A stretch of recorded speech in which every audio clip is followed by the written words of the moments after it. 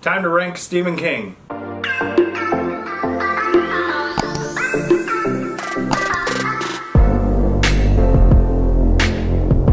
Alright guys, welcome back to my channel. I'm Zack with Zack's Books and we are in holiday season, as you can tell by my holiday armadillo shirt, Friends reference. Uh, today I'm going to be doing a ranking the Stephen King books I read in 2022. Alright, I read eight Stephen King books this year. It's less than what I wanted, but I did read some pretty decent chunkers and the two new releases that came out this year. Um, I have one collection in here and the rest are all just novels. Um, so there are some really good ones. I had some in the middle that were kind of like middle-ish, and then I had one that definitively was just not as good as the others, and you will see that one at the beginning. So we'll have these linked down below if you're intrigued with any of them. Um, also, don't forget to check out Danielle's channel, the podcast, all that stuff. Um, and as you could tell, honestly, since October, it's been a little rough with our videos. It's just been tiresome lately. So we're in holiday season, list season. Gonna rank some books for you, and uh, yeah. Don't forget to like, comment, subscribe, and let's get into the ranking. All right, so the first book up, uh, it's I'm going in order, obviously, from least favorite to most favorite. Um, to me, I don't think it should be as big as a surprise. Um, Gwendy's Final Task, the one he wrote with Richard Chizmar. This, I had really high hopes for. Um, I read this when it got released. I think this was the February release. I think it was February or March or something like that. Um, but this is the conclusion to the trilogy of Gwendy. Um, and honestly, I'm so glad that it is over because I honestly just. The first book in this trilogy, I think, was my by far my favorite. In this one, she's tasked to like go to space and deliver some box, like, or, or like blow it up or send it out into space and some weird things. They literally have a picture of like a tower on here in reference to probably like the Dark Tower. I just didn't get those vibes whatsoever from this book, and I was really disappointed with it. Um, I wanted more references. I wanted more Dark Tower stuff. I would say, um, just kind of fell flat for me. And honestly, I think I gave this three stars. Um, I mean, that just goes to show that I had a lot of pretty decently rated books this year, um, and you know, you might disagree with me, but whatever. It's my list. But yes, Gwendy's Final Task eighth place, three stars. It really just didn't hit for me. So, I don't know. There you have Gwendy's Final Task at number eight. All right, coming in at number seven, I've got the collection I read this year, and that is Skeleton Crew. Uh, only reason why it's not higher, it, I feel weird ranking collections just because, like, I don't know. I, mean, I guess you can rank the collection as a whole. I have my list in here and it averaged out to about 3.9 stars. The main stories that stuck out to me the raft, as you know, the monkey, um, word processors of the gods, grandma. Grandma was terrifying. That, that story was just frightening. Um, there's another one in here that was really good that I liked. The Jaunt, um, The Mist, obviously. Um, then there's another one, UOT. What is that one? I don't remember what that one is. Um, but yeah, Uncle Otto's Truck. That one was weird too. Um, a lot of good stories in this one. I really did enjoy this. Again, those are my favorites. Um, Grandma, The Raft, The Monkey, and The Mist. Probably my top four. Um, to round it off, I probably would go with uh, the uh, Word Processors of the Gods. Enjoy most of them. Uh, averaged out to about 3.9 stars. Um, there were some fives, there were some fours, there were some twos. Uh, I have a cheat sheet in here that I wrote down for all of them. Um, but yeah, no, good collection, really enjoyable. Uh, in seventh place is Skeleton Crew. All right, coming in in sixth place, I have Rose Madder. This ended up getting four stars. It was actually a pretty decent book. What I have come to realize is I need to go into King books, books in general, honestly, is way more open-minded. I go into the a lot of these and I'm just like, this is what I want out of the book. If I don't get it, I'm pissed off or I'm disappointed. Um, hence my reread of the Dark Tower series. I'm rereading it. I kind of took a pause, and we're gonna, you know, have a video about goals for 2023, and that's gonna be on there. So is hopefully trying to finish Stephen King. Um, but Rose Madder is about this woman who's abused at home by her husband, an alcoholic person, um, which seems to be a king trope, but I don't mind it. And um, yeah, uh, Rosie basically flees. She goes to this place where she's loved by like, you know, this. I, I want to say it's a women woman's house. I think is what it ends up being for like women in like situations like hers. Um, and the guy basically follows her to wherever she is, and she's like in a completely different area. And she buys this painting, and it's got this weird, this weird picture. There's uh, the king aspect is like the picture's alive. You can go into the picture. It's like a painting, um, and then things kind of shift in the painting every now and again when she's like not in it. Um, I didn't hate the story. I thought it was pretty cool. The husband I can't remember what his name is, but I just know he's an ass. I really hated him. Um, I can't think of his name, and I can't see it in here. Uh, Norman. Yeah, Norman. Yeah, I remember that. It's always Norman. Um, but uh, yeah, he was a total douche. Hated him. He got everything he deserved, and um, it wasn't a bad book. I did enjoy it, and a lot of people say this is one of his worst, and I, I kind of liked it. I went to it more of it being a thriller versus just a King book, so think it's what made it more enjoyable for me. So there you have Rose Madder in sixth place. All right, top five territory. Um, I did have this already kind of set up uh, in a way that I was going to have my top five obviously set, but I'm going to do a drastic in move change, and I'm going to do in fifth place. I'm going to put Insomnia. So this was a really solid story. It was a really solid book. I thought it was really good. Um, a lot of you guys really wanted me to read this, and I did, and it paid off. Um, I really, really did like this book. Ralph, as a character, was really solid, and I like the, you know, the powers he has. There's Dark Tower references. There's all these different things. Basically, this is a book about a dude who's got insomnia. He can't sleep but then eventually he starts seeing things that aren't there. He's got like the bald people who like do weird things, and like it, it was a really exciting story. I really did like this, um, which just goes to show my top five is all books that are four, four and a half. I've got, I think I might have two five stars in this top five. So I mean, I read a lot of good King books this year, and I really started off. You know, I, I think this book is a really solid book. I know a lot of people are going to say, why is it in fifth place? It's just because I read so many other good ones this year. I just, it was a, it was a big change. So the one that was going to be in fifth place, I'm going to talk about next. But Insomnia, really solid book. I really did enjoy it, and it's a beefer. I would definitely recommend it though, because there's lots of references in this book to the Dark Tower and other things in the King universe. So, Insomnia in at number five. All right, coming in in fourth place is the other book he wrote this year, Fairy Tale.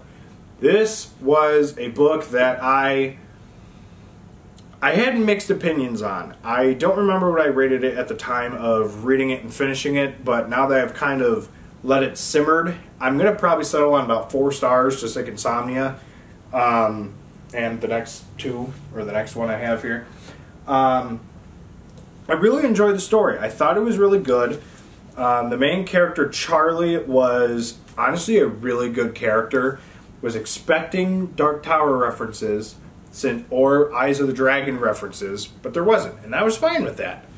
Um, basically, this uh, older gentleman, Mr. Um, Bowditch, Bowditch, I still don't even know if I'm saying his name right, has got this shed in his backyard that has got a hole that goes to another world, basically. Um, and he's got a dog named Radar. Radar is my favorite character of the book, and that's usually how it goes with dogs. They're usually my favorite, except for Cujo. Um, but it was a really exciting book. It was a great, like, fantasy-ish type style book. I will say the first half of the book, I would say, is stronger when he's still on, like, Earth, like he's not in this other world. Um, I thought it was a lot more better written. That was definitely English.